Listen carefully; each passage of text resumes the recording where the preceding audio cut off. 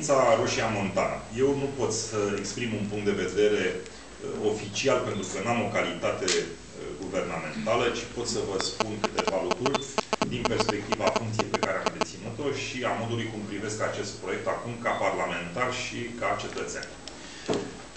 Uh, în primul rând, când eram prim-ministru, n-aș putea spune că m-am opus, dar nici nu aș putea spune că uh, am făcut eforturi să promovez acest proiect uh, fără să țin cont de necesitatea ca un astfel de proiect să parcurgă etapele prevăzute de lege, care înseamnă obținerea autorizațiilor și avizelor necesare, pe de o parte, și fără a face consultarea cu cetățenii din România, cu uh, societatea, românească și cu partenerii noștri, uh, mă refer la Ungaria, statul vecin, care, în mod, uh, mai spune, firesc, era uh, preocupată și îngrijorată după accidentul ecologic care a avut loc la Baia Mare, pe Tisa, vă aduceți aminte, cu anii în acesta este motivul pentru care am lăsat proiectul fără să intervin, nici să pun obstacole, dar nici să arăt că am un interes particular, pentru că nu am.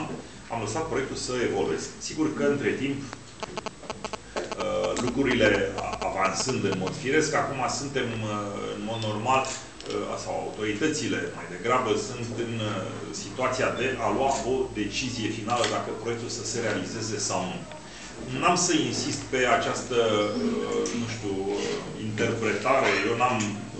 Am, am citit în presă, îndoială, declarațiile domnului Chițoiu, precizările pe care le-a făcut, dar cred că nu acesta este lucru esențial. Cred că ceea ce este esențial în legătură cu acest proiect este următorul. Autoritățile române vor putea să ia o decizie favorabilă sau nu, în funcție de două, trei elemente.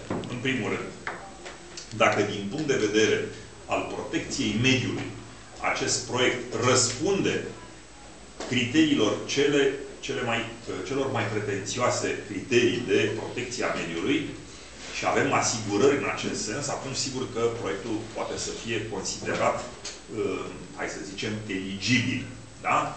pentru a fi aprobat de guvern. În al doilea rând, cred că este practic o, o necesitate și în acest sens am văzut și poziția primului ministru foarte corectă, dacă guvernul va putea să negocieze, și e un deziderat, și să îmbunătățească condițiile de participare a statului român la acest proiect în privința nivelului redevențelor și în privința cotei de participare a statului în uh, societatea de, de exploatare, da? atunci e un al doilea element care se constituie într-un uh, avantaj, într-un considerent care poate să contribuie în favoarea unei decizii pozitive în acest proiect.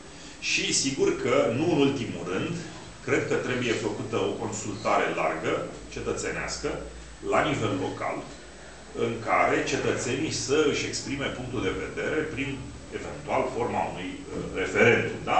Și în care să spună, da, suntem de acord sau nu, pentru că trebuie să recunoaștem, e un proiect care a stârnit controverse.